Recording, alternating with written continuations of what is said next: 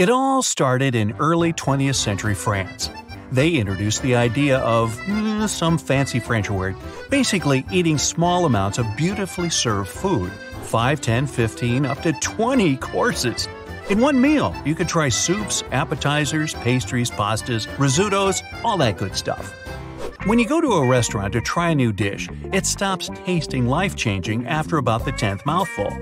When you're only given a few bites worth, you somehow appreciate the taste more. Luxury restaurants always try to be as different as they can from cheaper places.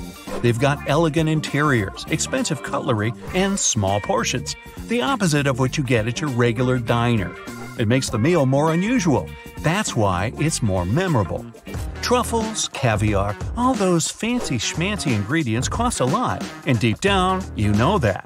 So when you see them bring a tiny plate with a tiny serving, your brain's happy. It's logical somehow.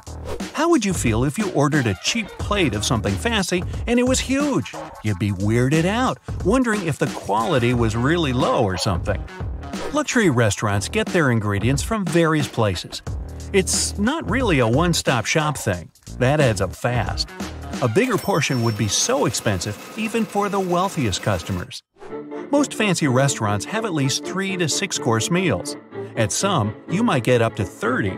You wouldn't be able to try them all if they were regular size.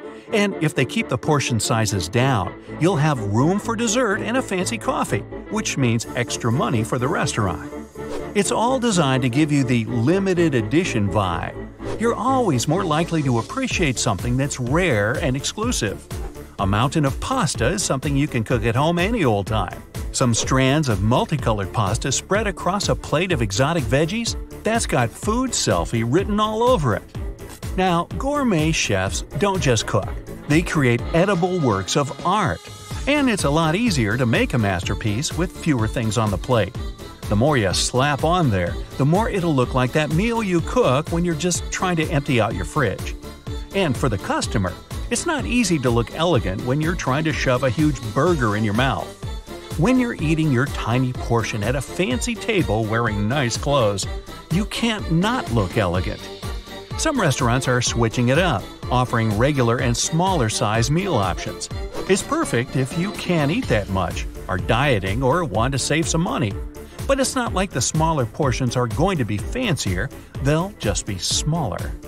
Most restaurants have dim lighting and cozy, secluded seating areas to make you feel more comfortable and relaxed and stay longer, and order more. You'll feel less guilty about ordering a ton of expensive food when you feel invisible in the dark. Smells can affect your meal choices. Vanilla and cinnamon make you crave dessert. The smell of bacon might make you order a bigger breakfast. Lavender helps you relax, slow down, and eat and spend more. Fancy restaurants use incense and nice smelling oils to try to make you order more. At cheaper restaurants, it's all different. When you sit by the window and see people in sunlight, you're more likely to feel conscious of your choices and order something healthy and sensible like vegetables, wraps, you know, that sort of thing. And you're more likely to order a full meal because you think someone might judge you or something. They put up TVs everywhere to distract you.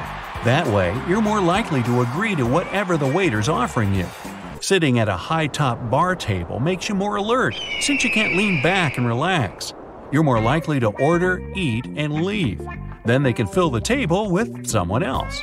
Where can you always find fast food? At the mall and at any rest stop. They're hoping you just impulse buy something, even when you're not hungry. Just looking at food or people eating can make you crave that burger. And restaurants pay big bucks to get help designing their menus. They use something called power positioning. It helps you pick something even if you didn't know you wanted it. Whatever's on the top right of the front page, that's what they want you to order. You'll always see the most expensive ingredients mentioned in the dish description, even if it only has one tiny drop of it. You'll want to order it for that luxury vibe. Some gourmet restaurants really do make their specials out of the freshest ingredients, the one they just got in that morning. Most specials, though, they're made from stuff that's about to expire. That way they don't waste as much food.